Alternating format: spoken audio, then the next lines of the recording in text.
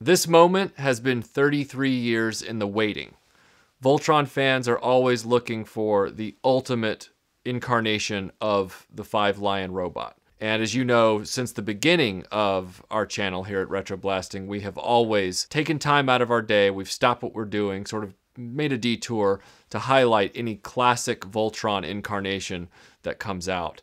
Uh, and this is the one that everybody's been waiting for. This is the one that all of the mega fans of Voltron and Beast King Golion uh, have clamored for, quite honestly, because, you know, Voltron has this eclectic toy history. You have the original Popy Beast King Golion, which we've talked about, uh, that was released in 1981 in Japan, and then it was picked up by uh, Bandai, and then they turned it into the Godaikin Golion here in the United States very briefly before it was licensed by World Events Productions, and then it became Voltron when they redubbed it into English, and then Matchbox licensed uh, the robot from uh, Bandai and brought it over here officially under the Voltron banner, and then when they did, it lost all of its weapons, it lost its sword, it's lost everything uh, that that makes you know Golion Golion. And then Panosh Place came into the mix with the action figure, uh, what we call the plastic lions. They had the hatches on the back, and the action figures could go inside. You know, then you had Trendmasters, which resurrected the original Popy slash Matchbox to varying degrees of success. And then you had the uh, Matty Collector Voltron, which we reviewed uh,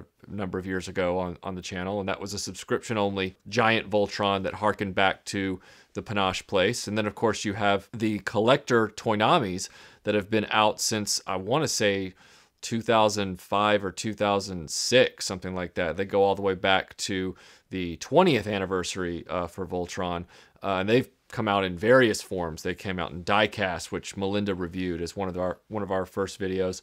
They came out in plastic numerous times, and and Toynami really they really rode that that mold for for quite a while. You got to remember the whole time that this was going on, especially during the Toynami period. Uh, Bandai was making an amazing line of tribute uh, robots for all the classic Japanese animated uh, Super Sentai and uh, classic Japanese robots, which was called the Soul of Chogokin.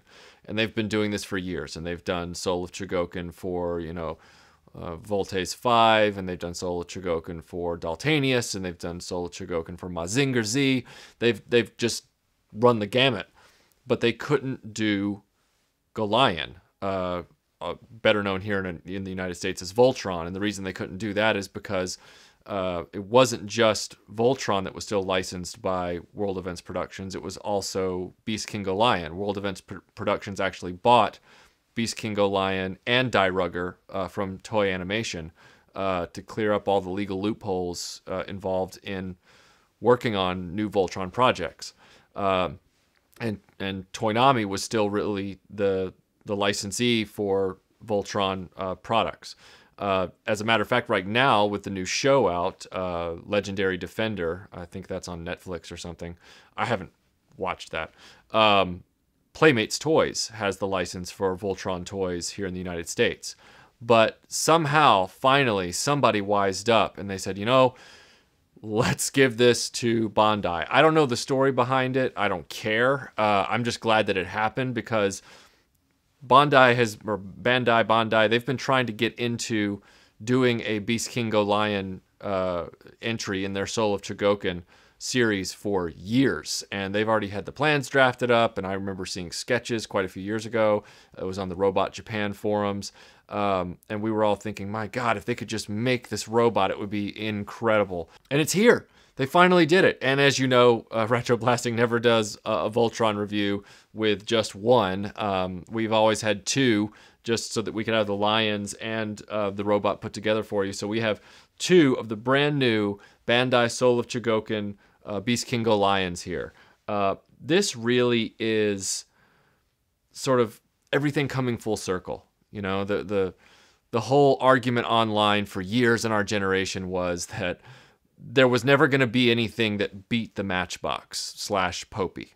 Um, the Popy original diecast Japanese robot was hands down the best. It was the most accurate. It was the most durable. It was the one that you know actually had the weapons. Um, and even as kids, when we didn't have the weapons, we all kind of knew that the Matchbox version was superior, even if it didn't have action figures that could go with it. I, I grew up with the Panosh Place, but I always yearned for the Matchbox diecast, and my few friends that had it, I I coveted, you know, their privilege of owning it. Um, and this really is a faithful update to that, which makes sense because you know uh, Bandai is is the inheritor of Popy, and they don't make crap. They make they are the masters of of Japanese robots. The big question is is this everything we've always wanted in a Voltron? Is this everything we've been looking for in a Beast King Golion uh, Chogokin? And I have to say, if this isn't everything we've been looking for, then our bucket list is impossible to meet. Uh, not because this doesn't have any drawbacks, and I'll get into that in a minute, but if you're talking about trying to uh, get around the limitations of the original Popy, which was wasn't very posable. The lions were, you know, die-cast bricks. They looked great, but only in like one pose. They couldn't really do much. Uh, you know, the the robot itself couldn't do much the the posability of the robot was much like a vintage Star Wars action figure. That was about all it could do when it was combined. If you're talking about it from that perspective, then you know uh, Bandai has made some great strides in that while staying faithful to the original design. Um, and I'll I'll go into some of that. The lions, for example, have always been problematic in this design. You know, the the black lion. It doesn't matter what version you're talking about, whether you're talking Popy, Panosh Place, uh, Matty Collector, Toynami the the the black lion always ends up being sort of chunky and out of proportion because the black lion has to become the torso or the body of the robot. And I think here they've really made a good compromise. They've they've found a way to make that lion look like a lion when it's a lion without making it look too diminutive and also make it you know so that the proportions are perfect when it's in robot mode. The head is not too big in robot mode. It doesn't look like he's wearing a huge lion hat like some of the uh, previous incarnations have done. They all have the correct shapes to their bodies. They all have, you know, posable joints. They all have, uh, you know, the pop-up cannons and even molded missiles and guns in their mouths. They have posable tails, which is a first. They don't just have tails that flip out. Each tail has kind of a, a ball joint thing going on with it. And you can really, you know, put the tails in different positions as well as you know the arms and legs. The the the haunches uh, of the lions and the shoulders actually pivot so that you can get some more dynamic poses. Only the smaller lions, the red and green lions, don't have the ratcheting joints, but the other lions all have a good number of ratcheting joints in in their legs. And the best part is is that the die cast is so prevalent in this in this set. There is plenty of metal in all of these lions, just like the original Popy. And that's key because you don't just want something that's, you know, accurate at a glance. You also want something that feels substantive. And these lions really do. Uh, you know, Bandai has really outdone themselves in this regard because you finally have lions that can pivot at the waist and they can spread out their stances a lot better. And the lions can finally sit too. Of course, their mouths can open and they, they have extending necks, even for the the uh, red and green lions, they have necks that extend out so that you can get that added look and posability, just like they looked in the animation for Beast King Golion. Bandai, of course, also made sure to provide us with all the weapons for these lions. So not only do we have all of the lion blades, which have come with some of the previous versions of Voltron, uh, the Panosh Place actually had the Lion Blades. The Matty Collector had the Lion Blades. The Toynami 30th anniversary provided the Lion Blades. Unfortunately, it doesn't come with any of the actual missiles themselves.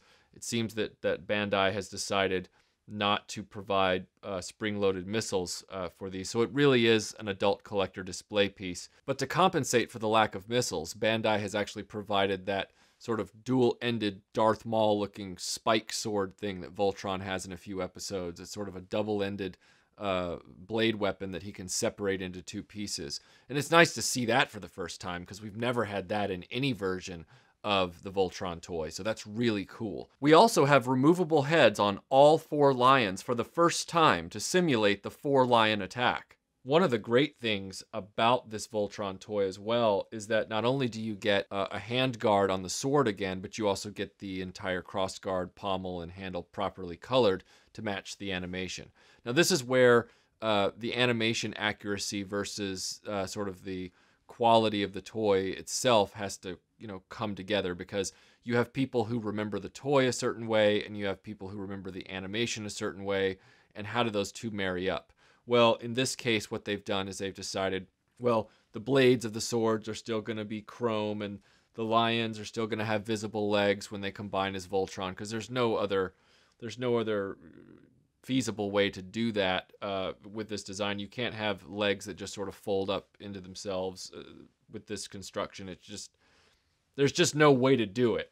Um, but what you get in return is you get a nice marriage of the animation accuracy to the the Popy nostalgia. They did for the first time make sure that his hips were actually silver colored instead of um, black, as is traditional for the Black Lion toys. And the robot looks amazing as well. The robot really looks like he jumped off the pages of one of those pieces of promotional artwork that we're all familiar with from when we were kids. I mean, it really does look like Voltron come to life uh, when he's in robot mode. But the question is, is this the definitive Voltron? Is this the last word in Beast King Golion?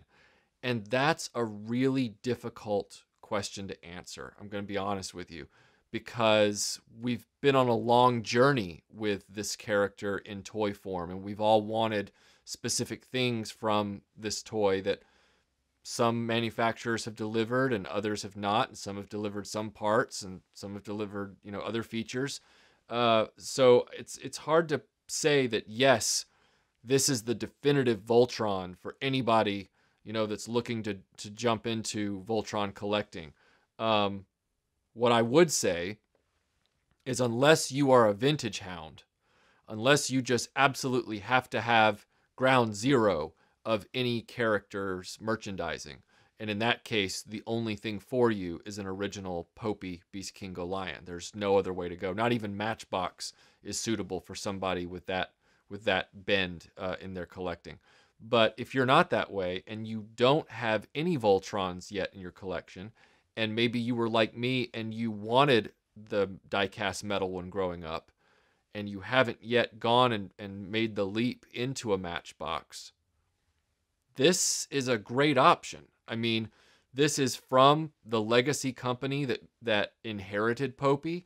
Uh, they are still, you know, obviously devoted to the character from his original animation origins, Beast King Golion, uh, they they have even given you two options for this. The the the box comes in a sleeve. The sleeve says Voltron, but when you pull the sleeve off, the permanent box underneath says Golion, and then the plaque for the weapons rack has two options. You get to choose either Voltron or you can choose the original Japanese characters that that say, you know, Beast King Golion, which is what I opted to do. That in and of itself makes it the perfect Popy alternative because it's very difficult to find a mint condition Popy these days. It's very difficult to find one with all the pieces. There's no way to count the number of bootlegs that are out there, and the bootlegs have been made continuously since 1984 or before that.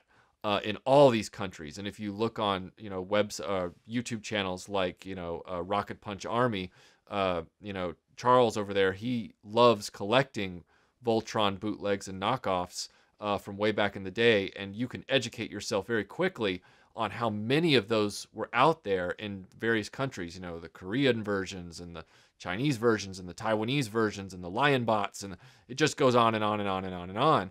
If you're not careful, you can actually walk into a situation where you think you're buying a Popy and you don't end up getting one. You know, you, you've got to be really educated on this before you start spending money. But this is a no-brainer. You can buy this directly from a reputable retailer. It's it's uh, you know it's from Bandai. It's currently being made right now. Uh, right now being uh, January 2017. So if this is you know January 2027, sorry this video is out of date. But in January 2017, you can buy this right now. And it's diecast. It is truly in the heritage of the original Popy. Um, the lions, aside from the black lion's head being significantly smaller and him being slimmed down, the other lions look like they could have almost jumped right out of the the Popy original. Um, the weapons rack is awesome. All the weapons that come with it are properly colored and accurate, but is it definitive? And that's that's what we have to address if you are a Voltron collector that has multiples like I do. I would say for me personally, the Popy is the definitive because it's ground zero. However, it's not very posable. It's very expensive now, and you don't ever want to combine it anymore if you've got an original because of chrome tails and the way it was constructed and, you know, technology having advanced. This one goes together so smoothly. It goes together really well, and, and even those dreaded uh, tail uh, tail mounting points from red and green lion into the torso of or into the shoulders of black lion it's not a headache anymore. They click in and then they pop right out. It's not the headache that it was when we were kids and we chipped up black lion real bad. Um, this is not that situation. They have re-engineered that from the ground up and it works perfectly. Where it falls short it falls short when you're talking about the robot itself. Not in the way it looks. Robot looks amazing. I mean, you can just see right here, the robot looks near perfect and he's got great articulation in the legs and he's got, you know, tons of places where he can turn his head and turn his torso and all that kind of stuff. But it's not as posable as it could be, especially in the shoulders where you're trying to hold the sword or put the sword in two hands it doesn't work so well. Uh, you you have to un, undo the the uh, black lion shoulder latches, to try and get things to sort of bow out, and then the shoulder latches never seem to lock. So the arms are always making the torso rotate. It's not as dynamic as I was hoping that it would be. Uh, and that's disappointing. Now, maybe it's because I haven't been around the Lions enough yet to really figure out how I could get that to work. Um, but I do know that it's it's not working the way I had hoped I could pose him, uh, and that's where the Toynami takes over. The 20th and 30th anniversary Toynami Voltrons that were diecast. Um, there are some plastic versions as well, but I'm referring specifically to the diecast ones. They are somewhat stylized, not to the extent that they're not trying to be the original classic Voltron. It's not like Toynami's recent Ultimate EX, which I wasn't interested in because it's way stylized. It's like, hey, you want to see what Voltron looks like on steroids in a tech science fiction world? This is it. It's like, I don't care about that. The Toynami one really was meant to look great as the robot. Some people think the robot looks too skinny, um, but that provides, that slimness provides him the ability to strike more dynamic poses with the sword, and that's key. Uh, this one, it can strike a few poses. Like it's not limited like the Popy is. I don't want to mis misrepresent it. I mean, it, it is infinitely more posable than the Popy. Um, but in those crucial areas with the blazing sword, uh, you know, with the king sword, it it falls short. It really does.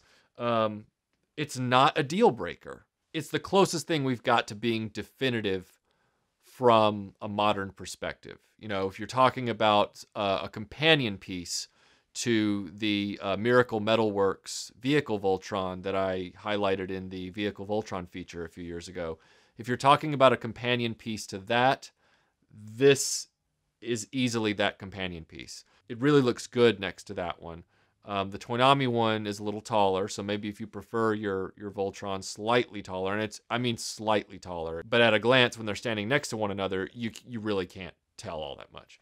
Um, I like the way this one looks, both as lions and as a robot, better, except for sword posing. When it comes to sword posing and only sword posing, the Toynami wins out. But the Toynami doesn't have the accurate sword the Toynami doesn't have the same kind of look. And so this creates kind of a dilemma for all of us because if you're a hardcore Voltron collector, um, you know, each one of these versions brings you something different to the table that you have to consider. Um, the Popy is the original. It is uh, it is Inception. Um, the Matchbox diecast is pure nostalgia, and it's the one with the box that we all pined over when we were kids and couldn't afford it uh, because we had no money of our own.